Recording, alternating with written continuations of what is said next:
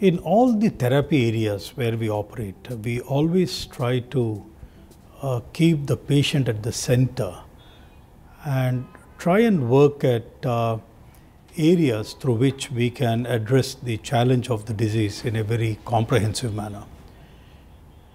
Uh, we have done that in the space of diabetes. Uh, like, for example, we have a counseling center called Sparsh, where we try to guide the patient on uh, management of diabetes in a holistic fashion, whether it is diet, exercise, frequency with which he has to take the guidance from the treating physician, monitoring the blood glucose. Because what we believe is that uh, if you have to get a good comprehensive you know control of diabetes, uh, it's not just medicine alone. You need to change the lifestyle. You have to manage your diet carefully you have to exercise. And if you do that in a comprehensive manner, the outcome is going to be better. We have done a similar type of a work in the space of, uh, you know, hepatitis C, where we are trying to work on uh, increasing the awareness, increasing the, uh, you know, the diagnosis rate, uh, also trying to address the economic challenges, you know, through a microfinancing route. So it was in a similar fashion that uh, one of the challenges that we have uh, is antimicrobial resistance. So the whole idea was that how can we try and work with the institutions so that in a very structured fashion uh, one can develop a protocol based approach in the management of infectious diseases. And it's thanks to my uh, medical team, uh, which has uh, worked with over 100 institutions across the country. Uh, they spend about six to nine months in each of the institution working along with the microbiologist, working with the intensivists, working with the administrative staff of the hospital and trying to create and try to create a very well structured uh, you know protocol uh, for that particular institution. Uh, what will happen in the process is that uh, there will be a much better and rational use of antibiotics and uh, whether it is dosing, the choice of antibiotics uh, and the duration for which you need to give the treatment, it, those things will happen in a very structured fashion. And we believe through this route, the incidence or the rate at which the resistance is developing would probably slow down. So that's what is this antimicrobial stewardship program all about. We have gone one step further now. We have created an app because almost every physician has, uh, you know, a mobile today, and uh, through this app, it becomes uh, very convenient and comfortable for the physician to uh, to know, you know, what antibiotic to use in which condition, in what dosage, it's a very simple basic tool that has been uh, created and today available in these institutions. The program for antimicrobial stewardship is to address a big challenge in India and perhaps all across the world of growing antibiotic resistance or antimicrobial resistance and less number of antibiotics or antimicrobials being developed and put into the marketplace every year. So we know the big issue. So this program of antimicrobial stewardship um, is a very simple program um, because it's clearly not uh, identifying the, the third helix of the DNA. It's a very structured program in which we just simplify, uh, we take from book to bedside, right? And what we've done is to follow the CDC protocol, uh, which is the Center for Disease Control, and uh, we've tried to um, operationalize it for the local data for the hospital because in nosocomial infection, it's the local data that matters. So what we do is we take the five different infection types, which uh, account for 98, 99% of the infections. And for each of these infection types, we triage the data into ward and ICU. And we, we, we, we structure it in terms of what are the number percentage pathogens and the resistance to antibiotics across this uh, over a period of time. So we collect a n sample of a given number, which is required to be statistically significant. What this program does is allows the doctor to choose the right antibiotic empirically.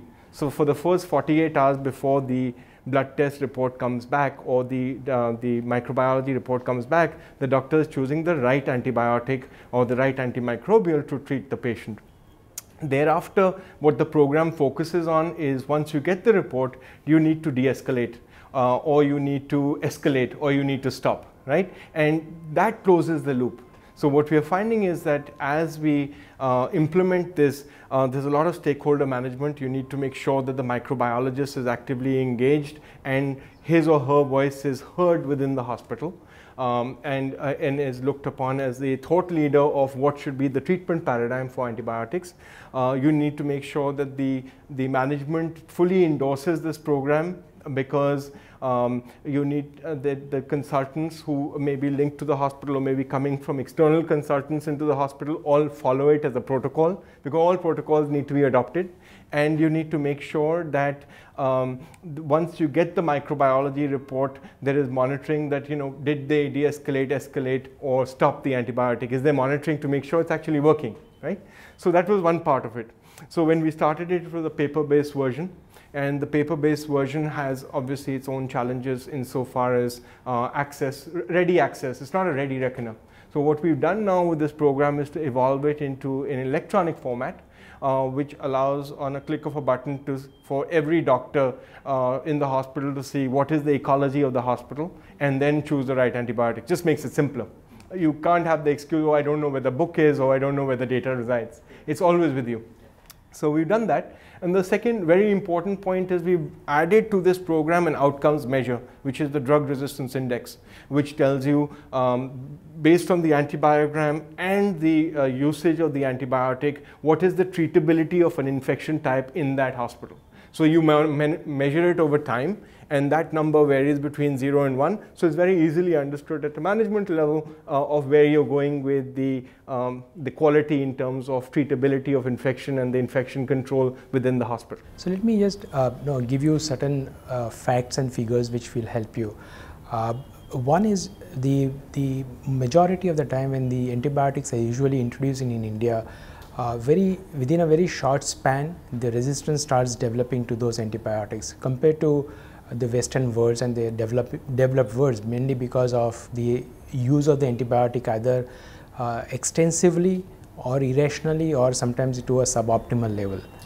Uh, what we have observed is from a certain uh, scientific study that has been conducted uh, that within the two to three years time frame the resistance level to a newly introduced antibiotic reaches to a level of 25 to 30 percent uh, versus a uh, global data where we have seen that the same the antibiotics normally have a very constant level of a resistance of around 5 to 7 percent over a period of 10 years. So that's the one of the challenge that we have in terms of the antibiotic resistance.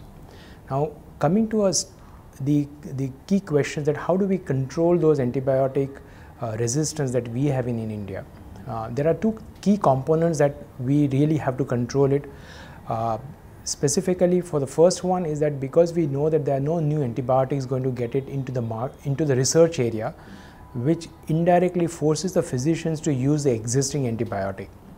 And the second, how do I rationalize the use of an antibiotic, what is available today, and hence this program that we have initiated under the uh, banner of antimicrobial stewardship program that really helps the physicians to identify and rationalize the use of the antibiotic from the point of selecting the antibiotic based on the, the ecosystem or the microbiological pattern that exists in their hospitals and also from the type of the antibiotic usage that have to be uh, uh, selected for treating the critically ill patients coming to the ICU departments.